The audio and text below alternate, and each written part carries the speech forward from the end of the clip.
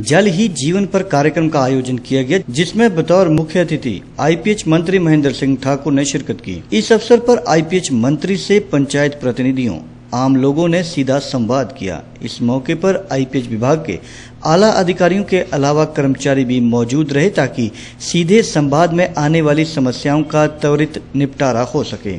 IPH मंत्री ने सीधे संवाद के दौरान कहा कि सरकार लोगों के बाथरूम में नहीं जा सकती है, लेकिन लोगों के सहयोग से लीकेज को रोका जा सकता है और व्यर्थ बहते पानी से भी बचा जा सकता है।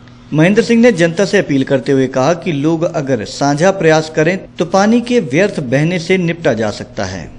जितने भी राइसी मेन्स है ग्रेविटी मेन्स है, उन पे जो लीकेजेस है, जितने भी टैंक्स हैं उनपे जो लीकेजेस है जितने भी जितने भी हाउस होल्ड है वहाँ जो उनके घरों के अंदर या बाहर लीकेजेज है उस पे उस पे हम जो हमारी योजना जो आठ सौ करोड़ की योजना है ये उसी के लिए है। लेकिन जो घरों के टैंकियों से लीकेज ओवरफ्लो के माध्यम से होती है घरों के अंदर जो नलके लगे हैं जो नलके जिनकी टूटियाँ खराब है और वो लगातार लीकेज करती रहती है वो मेरा आ, सब भाई बहनों से निवेदन रहेगा।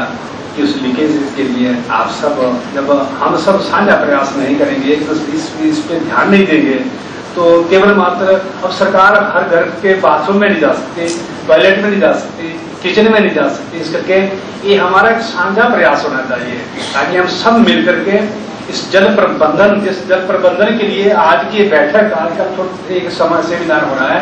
हम इसको लेकर के जाएँ और हम अपने घरों में ज़रूर कहें कि हम अपने अपने नलकों की लीकेजेस पे विशेष ध्यान दें।